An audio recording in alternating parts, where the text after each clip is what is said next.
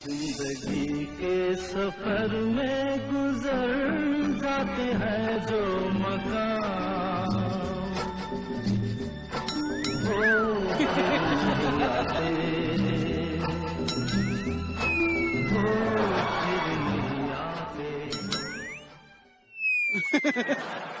अरे छोड़ यार मदन लाल, वही पुरानी ज़िंदगी।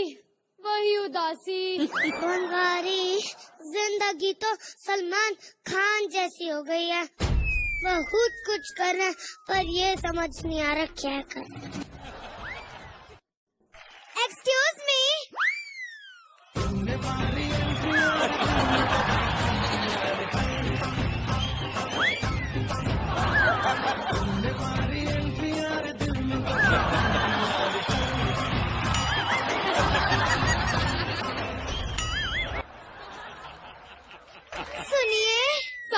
ज़िंदगी सुनने को तैयार हूँ सुनाइए मेरे पास पच्चीस साल का एक्सपीरियंस है सुनने का सुनाए मैं आज ही वृद्धाश्रम में आई हूँ यहाँ पर बेड नंबर आठ कौन सा है आपको जो बेड पसंद आ जाए बहुत से बेड नंबर आठ होगा लाइए आपका सामान मैं रखता हूँ हौसला रख वही काफ़ी है मैं रखता हूँ सामान। वैसे आपका नाम क्या है? मैडी। सब लोग मुझे प्यार से मैडी बुलाते हैं। ए मदनलाल तुम्हारी लूज मोशन की दवाई लेने का टाइम हो गया है। ए कौन मिला कॉल मी मैडी। और दवाई देनी हो तो इस बनवारी बुढ़े को दो। ए कौन बुढ़ा बुढ़ा होगा तेरा बाप। कितना मीठा हंसती है आप। अब तुझे मीठा अलाउड नहीं है। डायबिटीज़ है ना समझा? डोंट माइंड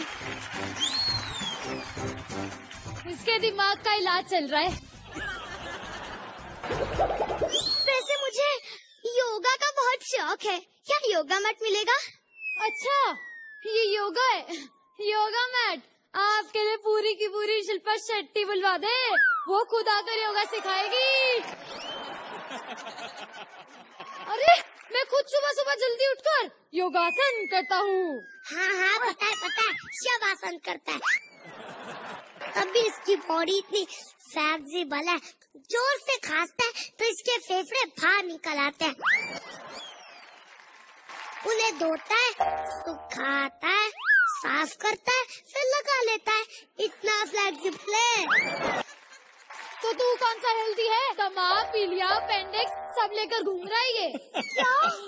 आपको इतनी बीमारियाँ हैं? यह तो कोई बीमारी नहीं। मुझे इससे भी बड़ी बीमारी है। कौन सी बीमारी? आपको देखकर मुझे प्यार की बीमारी हो गई है।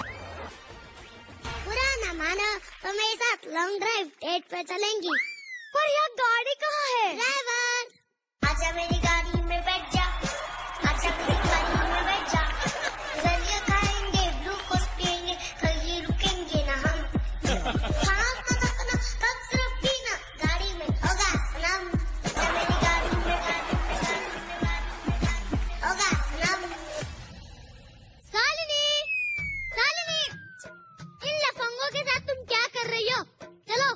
मैंने फॉर्म भर दिया है। थाने पे चलते हैं। ए तू कौन है? इसका भैया? भैया नहीं सैया।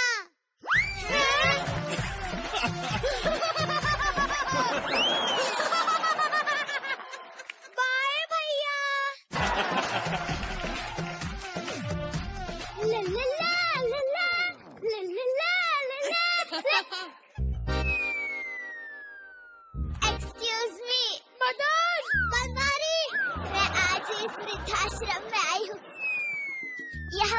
बेड नंबर आठ कौन सा है? हाँ को बेड बैग बदलना